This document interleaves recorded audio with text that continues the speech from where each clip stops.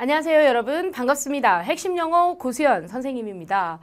어우, 정말 시험 보느라 여러분 애 많이 썼고, 그리고 갑자기 또 날씨가 변화가 많죠, 여러분. 추웠다가 더웠다가. 어, 일단 전반적으로 영어에 대해서 궁금해 하실 텐데 많이 들어보셨을 거예요. 영어는 평이했다. 근데 평이한 것이 어떤 기준에서 평이했냐면 헷갈리는 여러분들 선지가 없었다. 그리고 이제 내용이나 아니면은 소재 자체가 기존에 나왔던 기출과 굉장히 비슷한 것들이 많아요. 아마 여러분들이 최근 3개년 기출을 푸셨다면 배와 관련된 순서 문제나 그 다음에 또 우리가 인터넷을 사용하면서 가지게 되는 여러 가지 사회적인 이슈들이나 또는 정보에 대한 그런 우리가 어, 믿을 수 있는 신뢰도 이런 것들이 굉장히 흔한 주제였습니다. 그래서 여러분들이 공부를 하실 때 약간 그 고삐를 느슨하게 할 수도 있을 것 같은데 수능에는 또 어떻게 나올지 우리가 몰라요.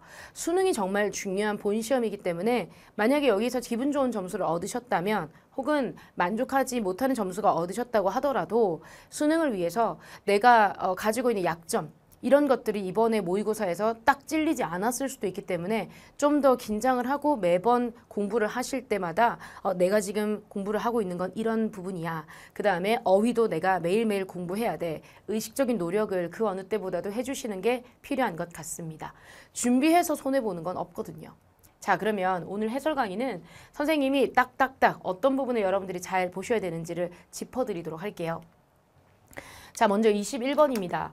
21번 같은 경우는 글의 우리가 흐름을 잘 보셔야 되는데 send us off into different far corners of the library가 의미하는 바가 무엇일까요? 함의 추론 문제는요. 항상 밑줄 쳐져 있는 표현을 여러분들이 잘 보셔서 어, 빈칸처럼 접근하시는 게 좋긴 해요. 저는 이렇게 봤습니다. 마지막 문장을 보시면 a small uh, divergence 약간의 작은 갈라짐이죠.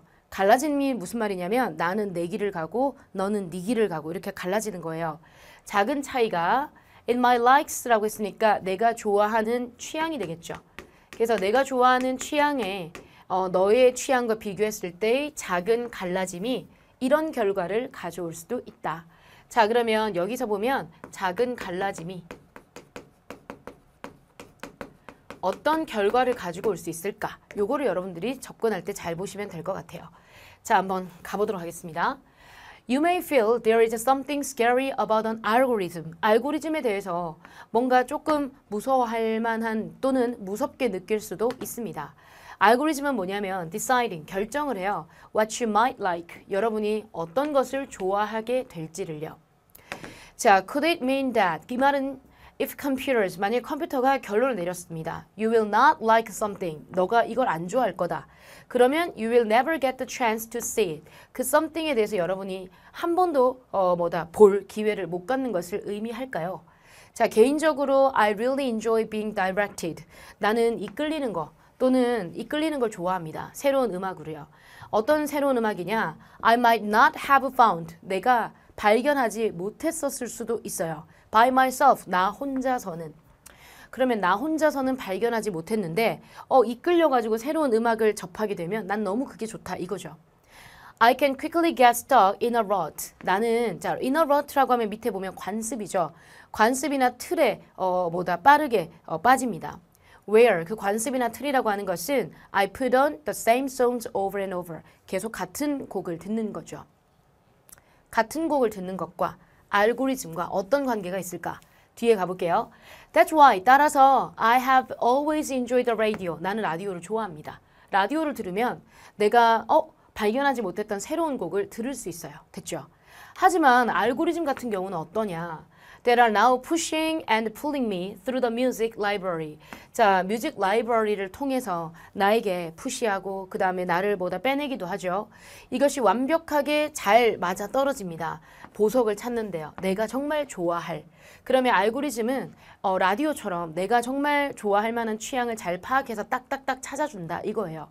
그건 알고리즘이 가진 좋은 점이에요. 근데 my worry니까 내가 우려가 좀 있어요. 어, 원래 가졌던 우려인데 뭐에 대한 우려냐면 such algorithm 앞에 언급된 좋은 알고리즘의 그런 어, 나의 우려는 was that 다음과 같았습니다. 이 알고리즘이 might drive everyone 모든 사람을 특정한 라이브러리로 몰고 leaving others 또 다른 곳은 다른 사람들은 lacking in listeners 잘 뭐다 듣는 사람이 별로 없는 그런 쪽으로 만들지 않을까 몰아가지 않을까? They cause a convergence of taste? 그래서 모든 사람의 취향이 존중되는 게 아니라 취향이 통합을 이루면 이게 수렴이란 뜻이거든요. 취향이 전부 다 수렴이 되는 거 아닐까? 수렴. 됐죠? 이런 게 나의 우려였습니다. 다 똑같은 거 듣는 거 아니야? 이렇게요. 자, 그렇지만 thanks to the non-linear, 비선형적인 일직선상으로 된 게 아니라 이렇게 비선형적이고 chaotic, 정말로 뭐다 어, 무질서한 그와 같은 mathematics, 수학이 수학 덕분에 이 알고리즘 뒤에 앞에 내가 우려했었던 모든 사람이 다 동일한 곡을 듣는 거 이런 것들 모든 사람이 전부 다 어, 취향이 통합되는 거 이런 일은 벌어지지 않아요.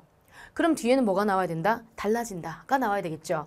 그래서 내 취향이 네 취향하고 비교했을 때 좀 처음에는 뭐다 약간 작은 그런 뭐다 갈라짐이 있었지만 결국에는 우리 둘을 어디로 보내느냐 완전히 뭐다 라이브러리의 저 먼 구석으로 보내게 되니까 너하고 나하고 가는 곳이 달라진다라는 뜻이 되겠죠. 그래서 처음에는 작은 갈라짐인데 이게 나중에는 어떻게 되느냐 완전히 먼 곳으로 간다 이 말이에요. 자 그러면 나의 취향, 너의 취향에 따라서 완, 다른 음악을 들을 수 있다 이거예요. 자 그럼 1번 가볼게요. Lead to music selected to suit our respective taste. 자 그래서 우리로 하여금 우리를 이끌어서 어떤 음악으로 향하게 하냐면 선정된 음악입니다. 우리의 각자의 취향에 맞도록. 그래서 각자의 취향에 맞는 음악으로 이끌게 해준다. 어때요? 오케이죠. 취향 존중. 그래서 알고리즘에 대해서 좋게 얘기를 하고 있어요. 그 다음에 우리로 하여금 다른 리스너와 그 다음에 커넥션, 관계를 맺게 한다. 이런 거 없고요. 그 다음에 세 번째는요. 업데이트에 대한 요구 이런 것도 없고요. 그 다음에 4번에는 능력은 있지만 알려지지 않은 뮤지션을 우리가 찾자 이런 말도 없어요.